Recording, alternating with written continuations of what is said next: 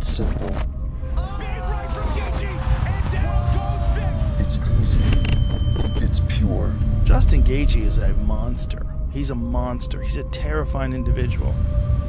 He's hurt. Gaethje has him down. It's. There's nothing complex about violence. And you're the most violent lion? Jesus Christ. That's Justin Gaethje. No, it's it. Violence doesn't need a reason.